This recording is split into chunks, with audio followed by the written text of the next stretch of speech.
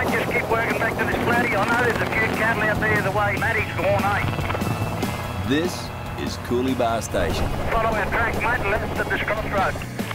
and these are the Joneses, Good heavy pull, eh? an Aussie family who muster cattle with helicopters. No, I don't want to be able to hold this bastard. Lots of helicopters. And it's another day on the job. Go down underneath on the right, underneath you there, Jimmy. Two choppers are working over here. They'll bring the next mob of cows in. There's about 1,500 head of cows in total. We'll be going to get through them all today. It's a pretty big mob. The Joneses work from home, mustering 80,000 cattle a year in their 1.3 million acre backyard.